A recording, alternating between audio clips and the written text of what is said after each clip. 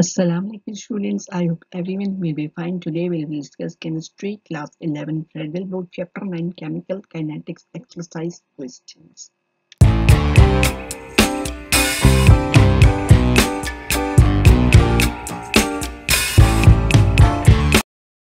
Now in this part we will discuss question number 9 to question number 17. Question number 9 है जो is effect of catalyst on the rate of reaction, the activation energy and the equilibrium position of a reversible reaction. हमने catalyst का effect बताना है upon rate of reaction, activation energy और equilibrium position of a reversible reaction. सबसे पहले हम देखते हैं जो effect on the rate of reaction. A catalyst can increase the rate of chemical reaction by providing an alternative reaction pathway with lower activation energy. जब हम catalyst को add करते हैं तो catalyst क्या करता है हमें alternative पाथवे देता है for the lower activation energy जब हम कैटलिस्ट को ऐड करते हैं तो हमारे पास एक्टिवेशन एनर्जी क्या होती है? लोअर हो जाती है, जिसकी वजह से जो हमारे इलेक्ट्रॉन के मॉलिक्यूल्स हैं, वो बहुत जल्दी एनर्जी बैरियर को ओवरकम कर जाते हैं और एक्टिवेटेड कम्प्लेक्स फॉर्म हो जाता है, जो कि लीड करता है towards a formation of products with high rate of reaction now effect on activation energy A catalyst can lower the activation energy required for a chemical reaction to occur. Catalyst क्या करता है activation energy को कम कर देता है जो कि हमारे reactant molecules को चाहिए होती है ताकि वो energy barrier को overcome कर सके और products में convert हो सके. This allow the reaction to proceed more quickly and with the lower energy input then an uncatalysed reaction catalyst क्या करते हैं एक तो हमें जो इनपुट एनर्जी होती है वो कम देनी पड़ती है for a catalytic reaction then an uncatalysed reaction now we will discuss effect on equilibrium position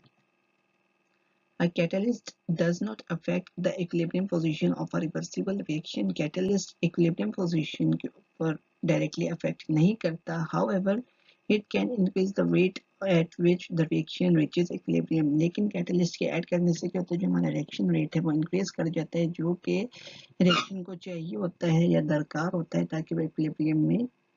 पहुँच सके This is because catalyst can speed up both the forward and reverse reaction equally. Catalyst क्या करता है जो हमारा forward reaction हो रहा होता है और जो reverse reaction होता है उसको equally speed up करता है ensuring that equilibrium is reached more quickly और जब हमारा रिएक्शन स्पीड अप होगा तो हमारा इक्विलिब्रियम क्या होगा जल्दी से अचीव हो जाएगा Once equilibrium is reached, the position of equilibrium is determined solely by the thermodynamic properties of the reactants and product, and the presence of catalyst does not change this. जब हमारा equilibrium reach हो जाता है तो हम equilibrium position को determine कर सकते हैं कि वो टुवर्ड्स साइड है या रिएक्टेंट साइड है। उसके लिए हमें क्या चाहिए? थर्मोडाइनामिक प्रॉपर्टीज़ चाहिए for the reactants and products या प्रेजेंस ऑफ़ कैटलिस्ट जो है वो, उसको अफेक्ट नहीं करती thermodynamic properties of the substances now question number 10 है जी the reaction of an alkyl halide R bond X with water is as follows यहाँ पे अब जो R है वो हमें अल्काइल बता रहा है और X जो है for halogen है R bond X plus H2O will get converted into R bond OH plus HX. If the reaction were a single step process, what would you predict the rate law to be? अगर हमारे पास जो ये reaction है given reaction है for alkyl halide with water अगर ये हमारे पास single step है तो हमारे पास rate law क्या होगा?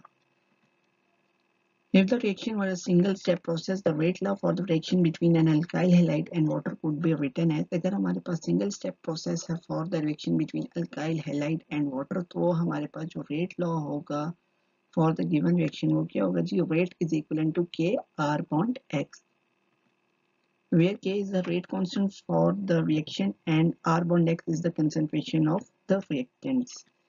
This rate law assumes that the reaction occurs through a single step mechanism where the rate determining steps involves a collision between an R bond X molecule The rate of this step is proportional to the concentration of reactant R bond X, hence the appearance of R bond X in the rate law. अब क्योंकि हमें rate law में क्या है खाली R bond X नज़र आ रहा है विद रेट कांस्टेंट इसका क्या मतलब है जो हमारा रेट है रिएक्शन का वो only on the concentration of alkyl halide depend कर रहा है और directly proportional to the first power of R bond X. Now question number 11 is the reaction of compound A and B to give C and D was found to be second order in A and second order overall. Write the expression for the reaction. हमारे पास कोई compound A और B है जब हम उनका reaction करवाते हैं तो हमारे पास प्रोडक्ट सी और डी फॉर्म्ड होते हैं हमसे कहा गया जो हमारा रिएक्शन है वो second order with respect to A and जो उसका ओवरऑल ऑर्डर है वो भी सेकंड है। तो हमारे पास रेट एक्सप्रेशन क्या आएगा फॉर द गिवन रिएक्शन सबसे पहले हम रेट इक्वेशन लिखेंगे तो जो रेट इक्वेशन आएगी वो आएगी जी two A plus B will get converted into C plus D अब उन्होंने क्या क्या है? Second order with respect to A जिसकी वजह से हमने ए के साथ जो है वो नंबर टू यानी कि two moles of A plus one mole of B will get converted into one mole of C plus one mole of D The reaction is second order in A and second order overall. It means two molecules of A participate in rate determining step. जब हमारे पास second order है reaction with respect to इसका क्या मतलब है हमारे पास एक जो टू मोल या मॉलिक्यूल्स पार्टिसिपेट करेंगे इन रेट डिटरमिनिंग स्टेप जिसकी वजह से हम जो है ना, जो एक्सप्रेशन है रेट एक्सप्रेशन वो क्या हो जाएगा जी rate is equal to K A raise to power two now question number twelve है जी defend the following statement A है जी a very small amount of catalyst may prove sufficient to carry out a reaction हमारे पास small amount of catalyst काफ़ी है ताकि हम किसी reaction को कैरी आउट करवा सकें। Catalysts work by providing an alternative pathway with lower activation energy for the reaction to occur. Catalyst हमारा क्या करता है? हमें alternative pathway देता है for the reaction जिसकी वजह से हमारे पास एक्टिवेशन एनर्जी जो है वो लोअर हो जाती है। This means that the catalyst is not consume during the reaction लेकिन कैटलिस्ट एक्टिवेशन एनर्जी को तो लोअर करता है, लेकिन ये ड्यूरिंग द रिएक्शन खुद कंज्यूम नहीं होता। And a very small amount of catalyst can be used repeatedly to catalyze many reaction cycle. और हम small amount of catalyst को use कर सकते हैं repeatedly times, ताकि जो हमारा reaction है वो catalyze हो सके। part B है the reaction rate decreases every moment According to the law of mass action, rate of a chemical reaction is directly proportional to the active masses of the reactant or to the product of active masses of the reactants. Law of mass action क्या कहता है जो हमारा rate है chemical reaction का वो directly proportional है to the concentration of reactant या अगर हमारे पास एक से ज्यादा रिएक्टेंट्स हैं तो उन सब के रिएक्टेंट की कंसेंट्रेशन का प्रोडक्ट जब हम लेंगे तो उसके डायरेक्टली प्रोपोर्शनल होगा rate of chemical reaction the rate of chemical reaction is fast in the beginning due to greater concentration of reactants अब रेट ऑफ़ रिएक्शन क्योंकि हमारे पास रिएक्टेंट के मॉलिक्यूल्स इनिशियली क्या होते हैं? ज़्यादा होते हैं। तो रेट ऑफ़ रिएक्शन क्योंकि ग्रेटर होते हैं concentration of reactants rate of reaction हमारा क्या होता है? फास्ट होता है इन द बिगनिंग लेकिन जैसे जैसे हमारा रिएक्शन प्रोसीड करता है towards the product side reactant के मॉलिक्यूल्स कम हो जाते हैं, जिसकी वजह से जो हमारा रेट ऑफ़ रिएक्शन है वो भी कम हो जाता है Now part C है जी, the unit of a rate constant of a second order reaction is dm cube per mole second. अगर हमारे पास कोई सेकेंड ऑर्डर रिएक्शन है तो उसकी यूनिट है जी डी एम क्यूब पर मोल सेकेंड हमने इसको प्रूव करने की ट्रू है या नहीं In a second order reaction, the rate law of the reaction depends on the square of the concentration of a reactant and the rate law for such reaction is given by the expression. Rate is equivalent to K A raised to power 2. अगर हमारे पास second order reaction है तो rate of reaction क्या करेगा depend करेगा upon the square of concentration of that reactant और जो उसका रेट ला है वो एक्सप्रेस होगा rate is equal to K A raise to power two अब जो A raise to power two आ रही है इससे हमें पता लग रहा है कि ये जो इक्वेशन है ये सेकेंड ऑर्डर इक्वेशन है where A is the concentration of the reactant and K is the rate constant. The unit of K depends on the overall order of reaction, which in this case is second order. So unit of rate constant अगर हमने यानी कि K के अगर हमने unit देखने हैं तो K की unit क्या बन जाएगा जी rate is equivalent to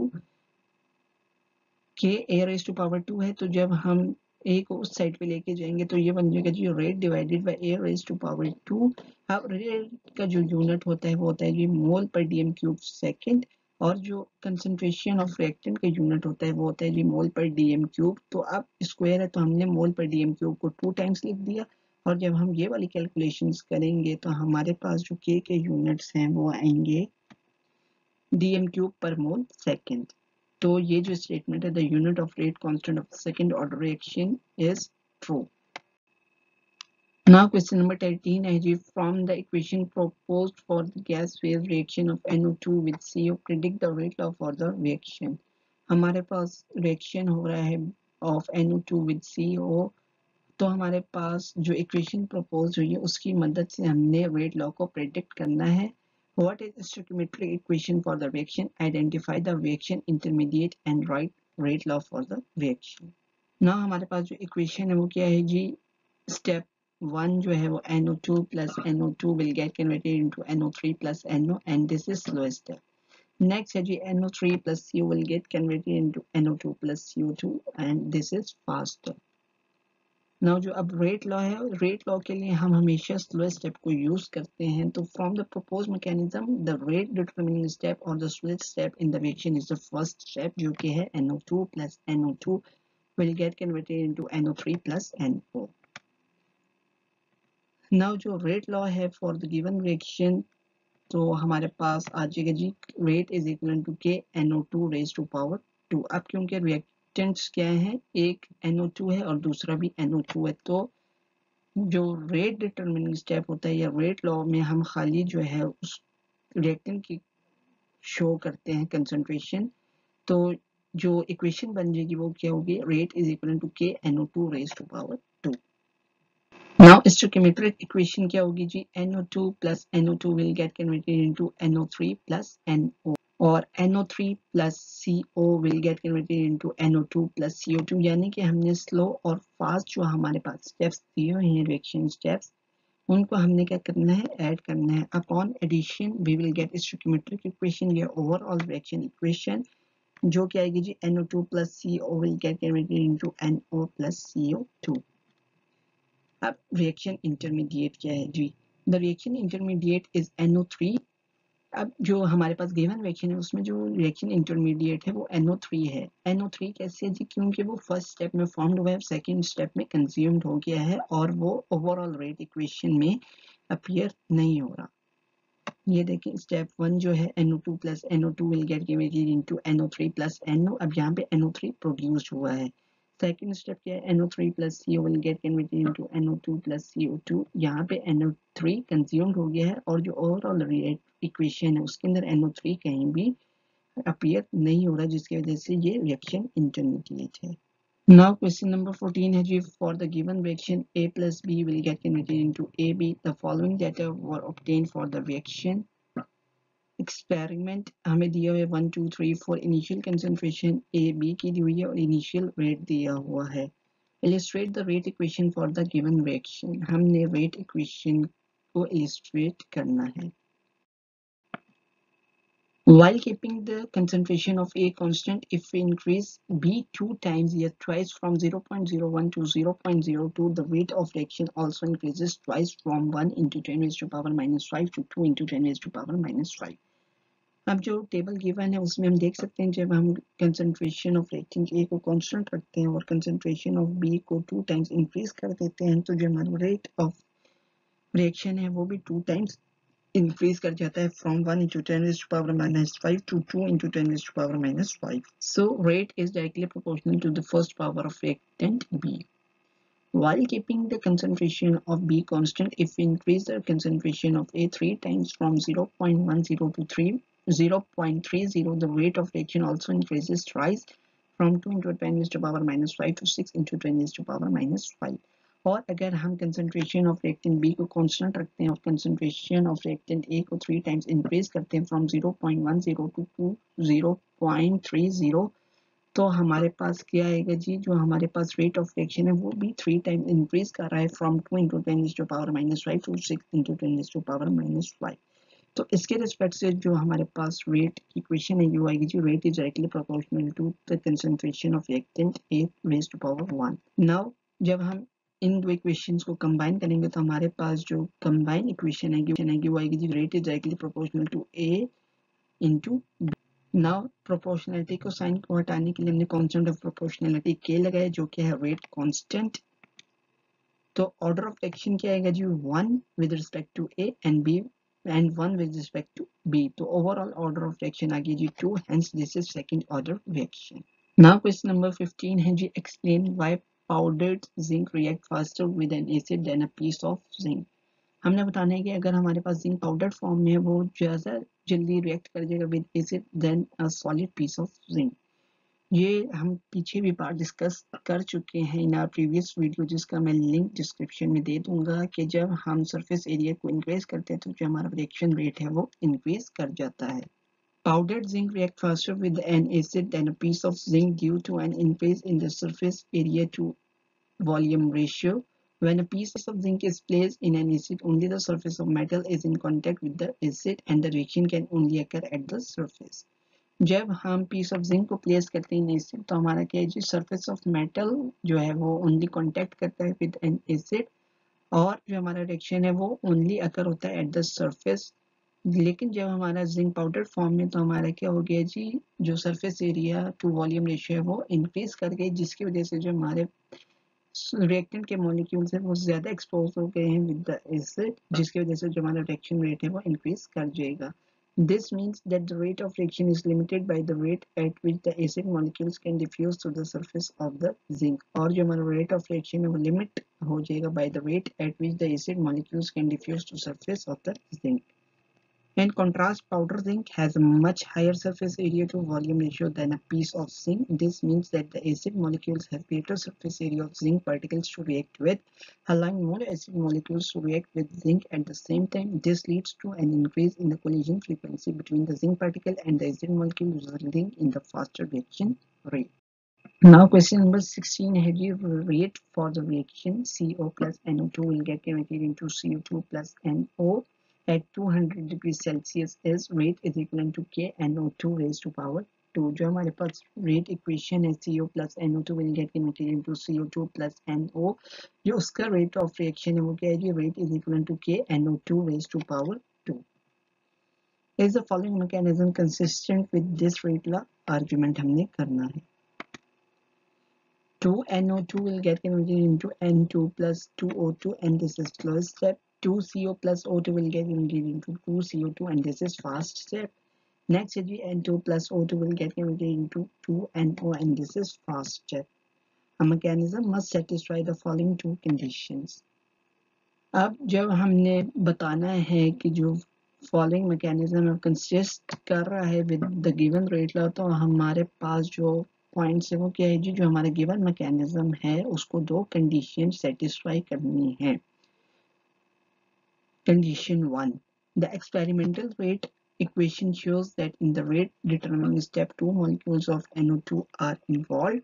जो हमारे पास एक्सपेरिमेंटल रेट इक्वेशन उसके अंदर हमें पता लग रहा है कि हमारे पास जो है वो दो मॉलिक्यूल्स NO2 के इन्वॉल्व हो रहे हैं The given mechanism is also showing two molecules of NO2 in slowest step और जो हमारे पास given mechanism है वो भी हमें बता रहे हैं कि जो हमारे पास NO2 के two molecules present in slow step. All the elementary steps must add to give the net balance equation of the reaction और जब हम इन सब equations को add करें तो हमारे पास net balance equation आनी चाहिए जो कि given है CO plus NO2 will get converted into CO2 plus NO